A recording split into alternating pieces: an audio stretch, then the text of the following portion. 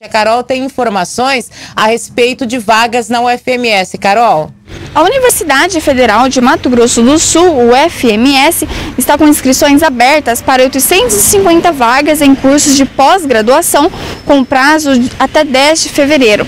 A instituição divulgou que as oportunidades de mestrado e doutorado são para cidades de Campo Grande, Aquidauana, Chapadão do Sul, Pantanal, Corumbá e Três Lagoas, sendo essas oportunidades de diversas áreas de conhecimento. Para este ano, o calendário dos processos seletivos da pós-graduação foi unificado. Um período de inscrições único e superior a 30 dias irá propiciar aos candidatos mais tempo para se prepararem para a seleção. Assim, afirma o chefe da Coordenadoria de Pós-Graduação, vinculada à Pró-Reitoria de Pesquisa e Pós-Graduação, Alenmar Bernardes Gonçalves.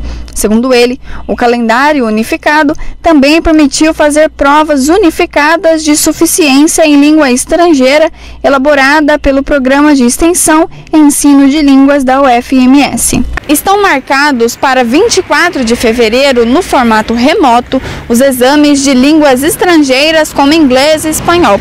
Segundo a universidade, os candidatos receberão o link para o exame após o resultado das inscrições deferidas. Os editais específicos com as oportunidades para cada curso e mais informações sobre todo o processo seletivo podem ser acessados em sites específicos onde estão publicados os editais de homologação, de inscrição e de todas as etapas seguintes da seleção.